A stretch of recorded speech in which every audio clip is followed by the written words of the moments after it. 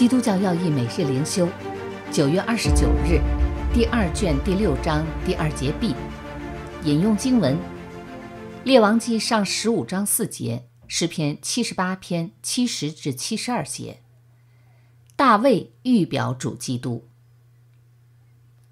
毫无疑问的，天父定义我们要从大卫及其后裔身上看到基督的形象活泼的彰显出来。所以，大卫劝告信徒敬畏神时，吩咐他们要以嘴亲子，这与福音书所说的相对应。不敬畏子的，就是不敬畏差子来的父。因此，虽然以色列国度因十个支派的背叛而分裂，但神与大卫和其后裔所立的约依然坚立。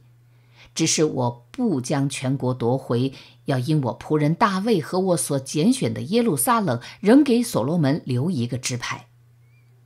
神接二连三重复这应许，清楚表明，我必使大卫后裔受患难，但不至于永远。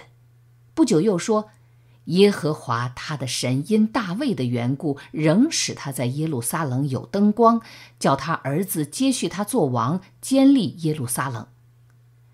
后来，在国家濒于灭亡边缘之时，又说：“耶和华因他仆人大卫的缘故，仍不肯灭绝犹大，照他所应许大卫的话，永远赐灯光与他的子孙。”综上所述，其他人都被略过，唯独大卫被拣选，是神喜悦的。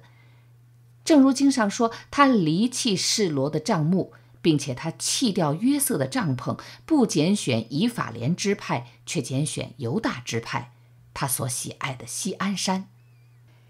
又拣选他的仆人大卫，为要牧养自己的百姓雅各和自己的产业以色列。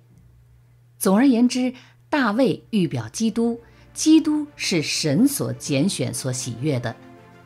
神喜悦选立基督来保守他的教会。